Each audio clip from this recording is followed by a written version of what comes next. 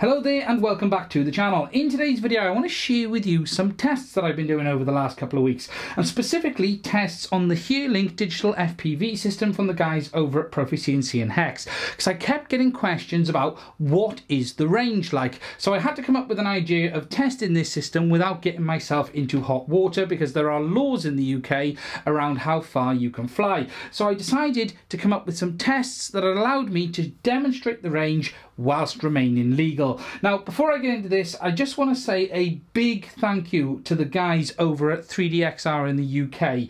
They have supplied me this to have a play with to be able to show you guys. I would not have been able to do any of these videos without their support on this. So if you are looking for the Herelink system when it is fully released, or you're looking for a Pixhawk 2.1, please do go check them out. There's a link to 3DXR in the description of this video. They're a fantastic dealer and they they really, really do know their stuff on the Pixhawk, the Cube, and the Herelink system as well. Now, let's get on with the rest of this video. As you can see, I have a very weird looking contraption in front of me. This is the test rig that I built to be able to show you guys how well this worked. Because as I said I cannot just strap this to an aircraft and fly it as far as I want because there are issues with that. So I decided to do a series of tests over high cliff tops over water and beaches. And the idea is that would give me a nice clear line of sight a good altitude for the base station to be able to give you guys some realistic figures on the range. Now this setup has the antennas on the top here in a vertical position. We then have the Herelink air system mounted in the middle and you can see a full pixel cube in the bottom here. Now the reason I have a cube mounted to it is I wanted to demonstrate it in full use. That was with telemetry data and video. So the idea is I've got the cube mounted at the bottom with a GPS antenna and the power supply as well. And then we have the Herelink at the top with the antennas mounted on the top of the arms. I then have the ability to mount my camera on the top and either mount my GH5, which I'm recording this on, or my GoPro via either of the HDMI inputs. Now in the rest of this video, I'm going to share with you how I did my tests, what I did and the results that I got. And overall, I have to say I am extremely impressed with this system. Before I uh, spoil any more, I'll let you guys see for yourself. For my first set of tests, I found an area that gave me about a 10 kilometre, 6 mile length across the coastline. So what I did was set the tripod with the system mounted up on a cliff edge about 25 metres above sea level, and the idea was to transmit all the way down the coastline and test it at various points.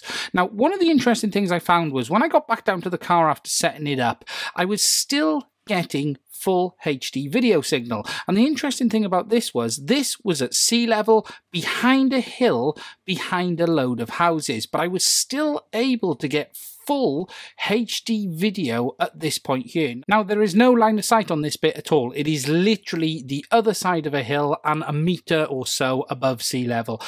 I'm actually still getting video in the car park behind all these concrete buildings and everything, which is crazily impressive actually. So let's uh, let's get out and give it a proper test. So for the first test, I wanted to do a nice short run, which was basically 1.26 kilometers. And the idea was just to make sure everything was working as you would expect. And I was just doing a straight cut across the coastline with line of sight. Um, wasn't expecting any issues and I didn't come across any either. Now, on the days I was testing this, it was absolutely crazy windy. Now, as you will hear yourself, the audio from this was pretty much unusable. However, as you can see, at this very short distance in range, I had no problems picking up the signal whatsoever, and it was working exactly as I expected.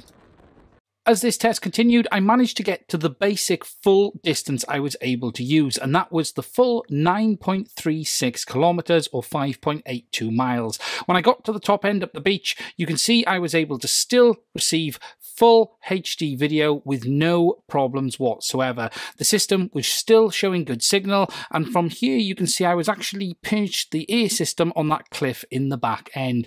It was still giving full signal on the control, I still had full telemetry and it was working exactly as I expected it to do. Now, at this point, I was extremely impressed with the system, but I also realized that I had actually run out of space and I wasn't able to demonstrate how far it was capable of by using this location. So I had to think and go back to the drawing board and come up with one more idea. And that I do was this by placing the air station on the edge of this peninsula over here and then standing in the same position that I was before on the beach and testing if I could get the range over that massive distance across open sea.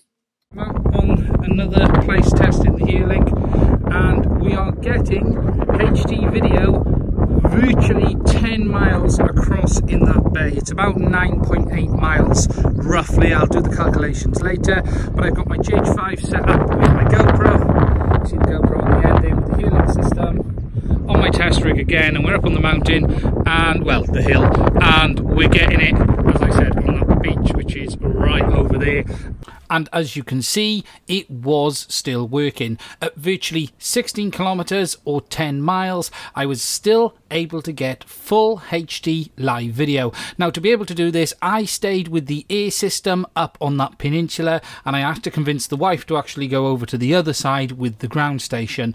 But as you can see it was still working. It was still giving me live video. Signal was still showing very very good as well. Now looking over just to give you an idea this is set up on that peninsula right where that arrow is over there. An absolutely insane distance. I've never used a digital FPV system that's given this kind of range yet the Herelink system was able to do it. Now as I said I had it set up on that peninsula as you can see with a little hut on the top and I had it on the tripod exactly the same as I had it before.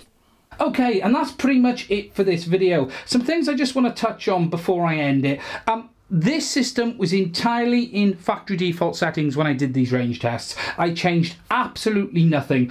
The antennas, you should be aware, should always be with the left hand antenna in the vertical position and the right hand antenna pointing at your antennas on your air system. So you don't want it up like that, you want it pointing at the system that you're using. With regards to the air side antennas, you do want them basically vertical. You can have a slight angle on them. I actually was going to do it with a bit more of an angle, but the guys over at Profi actually said, no, go virtually vertical with the antennas and that will get you your best possible range. Now, with all of these tests, with all of these things, these tests are what I have found myself.